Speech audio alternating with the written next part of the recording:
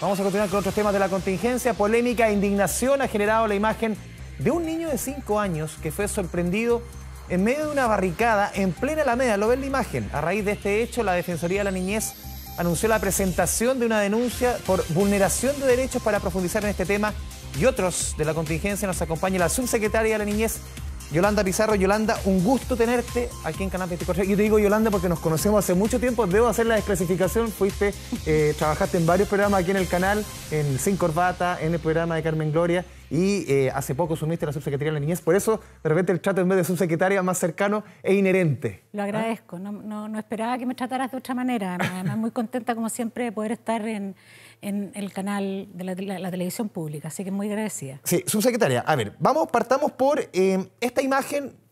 ¿Cómo recoge la, la primera reflexión respecto a una imagen que es a todas luces violenta. Ver un niño de 5 años participando en una barricada es algo, y, sobre todo también, no solamente uno dice dónde está la madre, dónde está el padre, dónde están los adultos responsables, el entorno, como que a nadie le llama la atención. A ver, yo creo que lo primero que te puedo decir es que no perdamos, eh, Andrés, la capacidad de asombro frente a estas situaciones, porque si la perdemos, creo que estamos perdidos como sociedad, como sociedad chilena. Primero, primero eso. En segundo lugar, eh, un rechazo total y absoluto a una situación que es primera vez que se da. ¿ya? Eh, y lo que pasa es que si este niño sin duda debe haber, ido acompañado de algún adulto, no llegó por casualidad y, y para él eh, así como tú tienes hijos pequeños, sabes que los niños y las niñas aprenden a través del juego. Lo más probable es que para él eso haya sido un juego. ¿Ya? No así para el adulto que lo acompañaba. Y lo que quiero destacar ahí es que creo que nosotros como país tenemos una mirada absolutamente adultocéntrica, donde no nos centramos en las demandas y las necesidades de los niños, niñas y en este caso de un niño de cinco años. Tú vas un poco más allá de esta imagen, lo, llevas a una situación país que... Lo veo como una, situación, como una situación país. Ha aumentado de una manera bastante preocupante la deserción, por ejemplo, de los niños y niñas de los jardines infantiles. Las madres han tomado una decisión post pandemia de que es mejor que los niños se queden en casa. Mm. En el jardín infantil tú sabes muy bien que los niños se educan y se educan a través del juego. Entonces creo que primero que todo tenemos que hacernos cargo de, construir, de desarmar esta mirada adultocéntrica eh, para poder considerar que ese niño está siendo vulnerado en sus derechos. Yo comparto lo que plantea la defensora de la niñez ahí.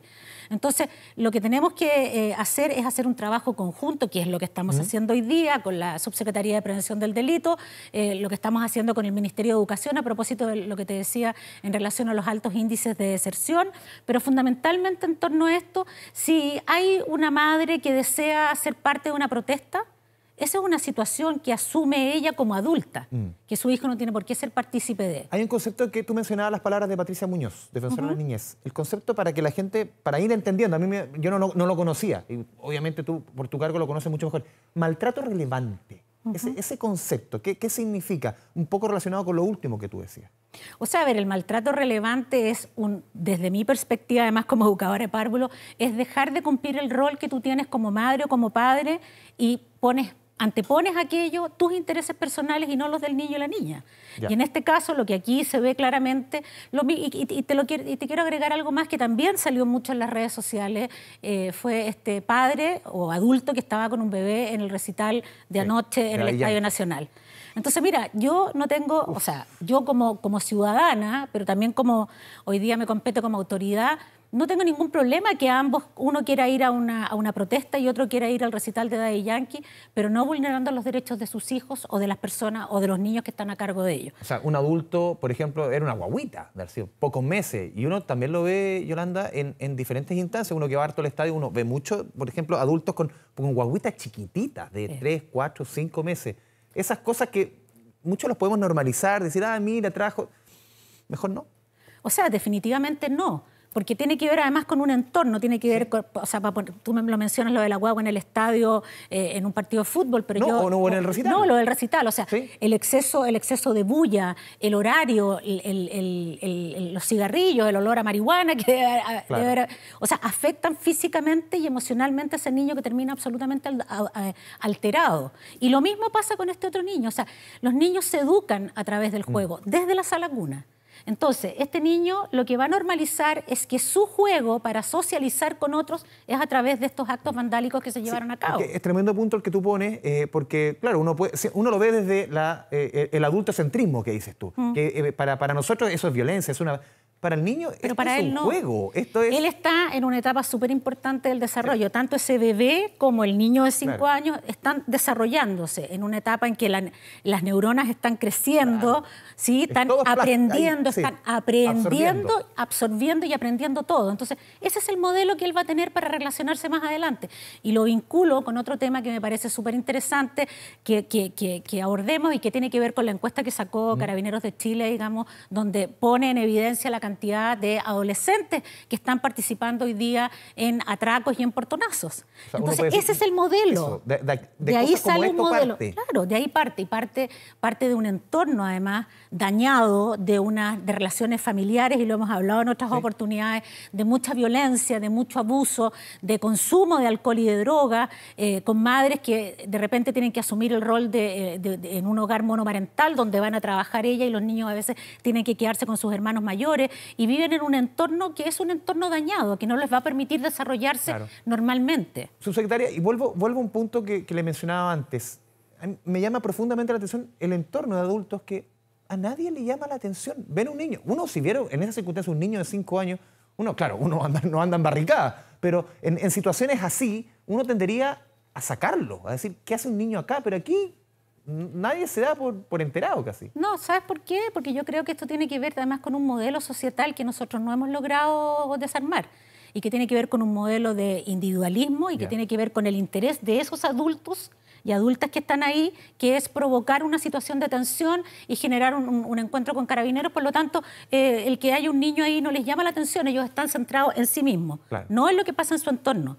O sea, hay, hay una, una... El adultocentrismo que decías tú al Sí, pero hay una falta también de, compatibilidad, o sea, de compatibilizar que el estar en la calle es una responsabilidad que tú asumes desde tu adolescencia porque tienes una postura, mm. tienes una postura política o personal. Un niño de cinco años no la tiene. Ellos no están preocupados de eso, ¿te fijas? A ver, subsecretaria, ¿qué puede hacer el Estado en estos casos?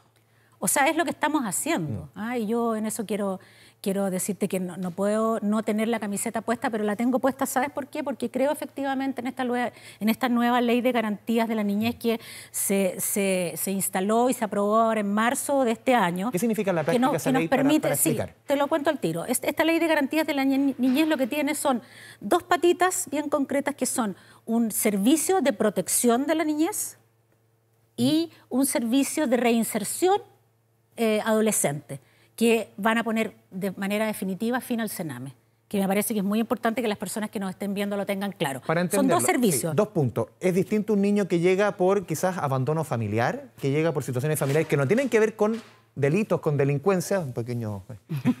la cámara. Eh, eh, es distinto al caso de un niño que, o un joven que llega por haber participado de un delito. Claro. hoy día convivían esos dos jóvenes niños. Hoy día lo que vamos a hacer es separarlo en un servicio de protección. Claro y por otro lado en un, servicio de reinserción de aquellos que ya fueron infractores en un minuto determinado.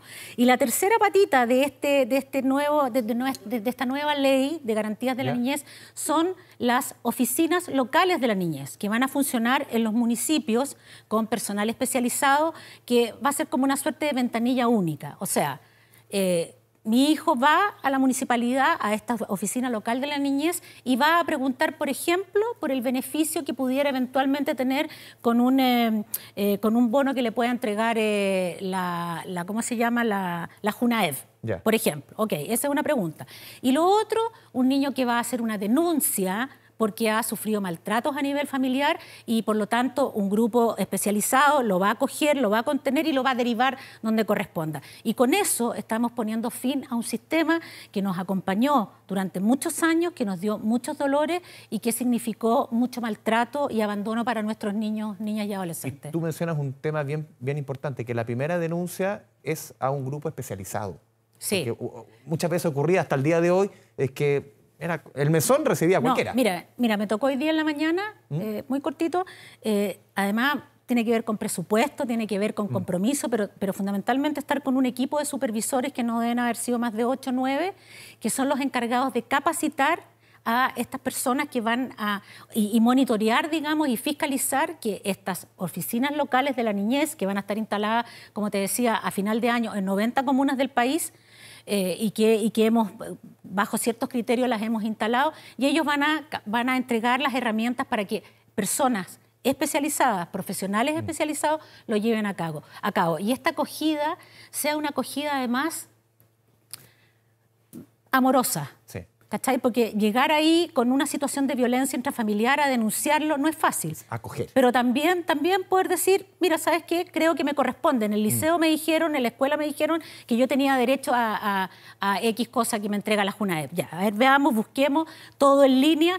Ahora, mira, Andrés, eh, también quiero, eh, no quiero generar falsas expectativas, ¿ah? mm. porque esto es un proceso lento. Es un proceso lento, pero lo que te quiero decir que, y esto tiene que ver no solamente con el compromiso que el presidente tiene con la niñez, eh, las niñeces y la adolescencia, sino que él, antes de ser, cuando era diputado, él ya tenía esa, ese foco puesto, digamos, en, la necesidad no solamente de, de, una reparación, sino que de una acogida.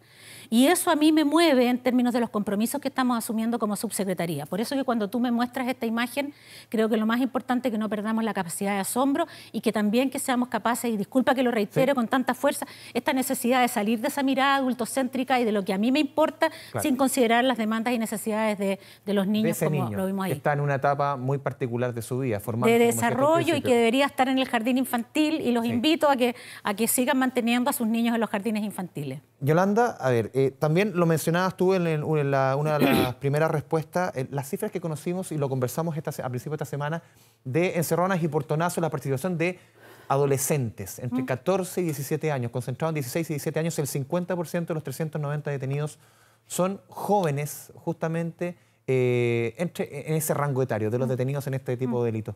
¿Cuál es la primera reflexión respecto a un número que uno dice es desolador?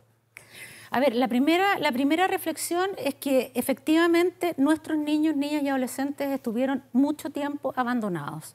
No se consideraron sujetos de derecho, no mm. obstante hayamos ratificado en algún minuto eso ante las Naciones Unidas. Primero que todo, aquello. Y segundo, no puedo dejar de seguir eh, hablando de esta imagen.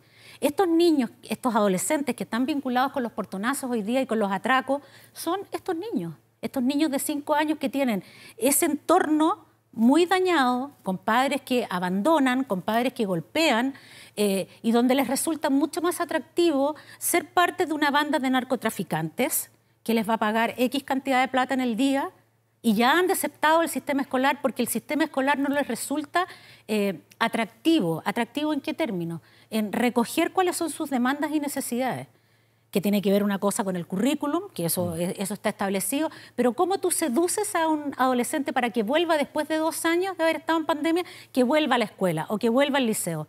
Si le resulta mucho más atractivo ser soldado de un narco o que ese narco le pague por ir a robar ese auto que le va a permitir a los narcotraficantes después eh, ir a hacer otro atraco mucho más grande. Entonces, creo que se vincula mucho la imagen del niño de cinco años con la realidad que pasa hoy día y con, lo que, con, la, con el informe desolador que, Carabineros nos presenta. Entonces, ¿qué hacemos? Tenemos esta ley de garantías de la niñez. Ayer acordamos con el subsecretario Vergara hacer un trabajo conjunto y ver, pero también sin querer, o sea, sin ningún tipo de soberbia, Andrés, o sea, con mucha humildad. ¿Qué es lo que podemos hacer? Y lo que, lo que, lo que podemos hacer primero es dejémonos de diagnósticos, que ya los tenemos súper claros, con todo respeto a Carabineros de Chile. Sabemos la realidad, sobre todo aquellos que hemos estado siempre en el territorio, sabemos cuál es esa realidad. Entonces, ahora lo que vamos a hacer con el subsecretario Vergara es pensar cómo abordamos a esos niños, desde dónde los agarramos, desde el jardín infantil, desde la sala cuna, desde el liceo de la escuela y hacer un trabajo conjunto con, con aquellos. Y el chiquillo de 14, 15, 16 que ya está metido en la banda. ¿Cómo, cómo se ataca ahí en, en el sentido, obviamente, de recuperar a ese joven que vuelva, entre comillas, al sistema, Yolanda?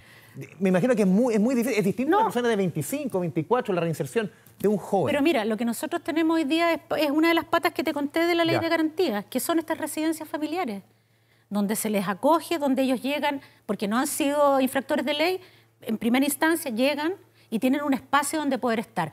Aquellos que han sido infractores de ley, fíjate que cuando venía para el canal me, llamó una fundación donde hay niños que fueron infractores de ley, que eran parte del Sename y que se quieren juntar con nosotros como subsecretaría para entregarnos un, un mamotreto grande que hicieron respecto a lo que significó ser niño Sename, mm. que tú cachai que eso es muy duro. Es una, carga... es una carga enorme y a mí, en lo personal, una de las cosas que me, que me mueve es que eso, eso, esa estigmatización deje de ser de que uno de ellos apareció en uno de los diarios más importantes de este país eh, como ex niño Sename, que ahora es profesional.